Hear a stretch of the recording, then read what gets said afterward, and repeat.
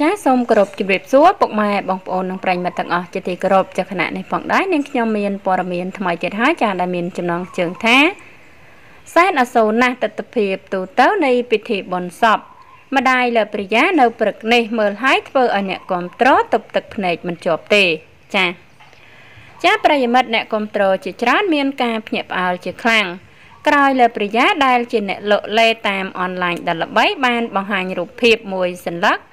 ទាំងសោកសៅកាលពីម្សិលមិញនេះនាថ្ងៃទី30ខែសីហាឆ្នាំ2020ហើយសរសេរថា អ្នកម្ដាយខ្ញុំបានទទួលមរណភាពហើយក្នុងនោះដែរអ្នកលក់លេដ៏ល្បីនេះ បានរៀបរាប់ទាំងអារម្មណ៍រំជួលចិត្តបន្ថែមទៀតថានាងខ្ញុំលើប្រយាមានទុកជាទំងន់ដោយអ្នកម្ដាយរបស់នាងខ្ញុំ បានទទួលមរណភាពសូមជម្រាប ដល់ពុកម៉ែបងប្អូន ទាំងអស់ឲ្យបានជ្រាបថាក្រុមហ៊ុននឹងធ្វើការកាន់ទុក រយៈពេល7ថ្ងៃ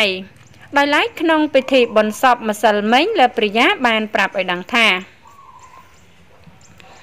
គាត់ស្លាប់នៅពេលដែលខ្ញុំ នៅម្ខាងប្អូនខ្ញុំនៅម្ខាងអរគុណពុកម៉ែបងប្អូនដែលបានជួយរំលែកទុក្ខមនុស្សយើងពេលខ្លះមិនចាំបាច់មានលុយមកចូលបន់ទេ មានតែទឹកចិត្ត បនគឺជាសទ្ធាជ្រះថ្លាខ្លាំងហើយ ម្ដាយខ្ញុំឈឺច្រើនណាស់ ម្ដាយខ្ញុំឈឺចង់20ឆ្នាំហើយនិយាយទៅគឺម្ដាយខ្ញុំរស់នៅទាំងលំបាកកូនធ្វើតាមចិត្តគាត់ទាំងអស់ម្ដាយចង់ទៅមើលជំងឺឯណា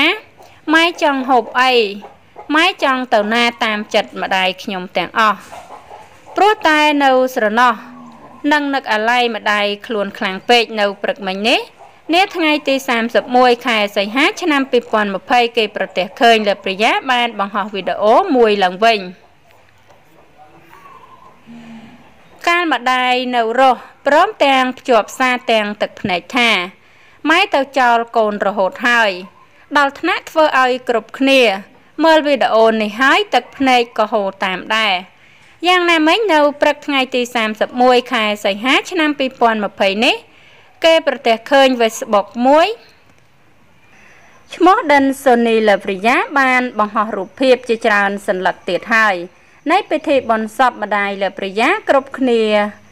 ឃើញហើយពិតជារំជួលចិត្តតាម ស្ទើរមិនអាចទប់ទឹកភ្នែកជាប់តាម ដោយឃើញលាព្រីយ៉ាយំឡើងហើមភ្នែកដូចនេះ ចាហើយអត្តបទព័ត៌មានដែលនាងខ្ញុំជម្រាបជូននេះចាគឺមានតែប៉ុណ្ណឹងចាហើយក៏សូមអរគុណដល់ពុកម៉ែបងប្អូននិងប្រិយមិត្តទាំងអស់ចាដែលតែងតែតាមដាន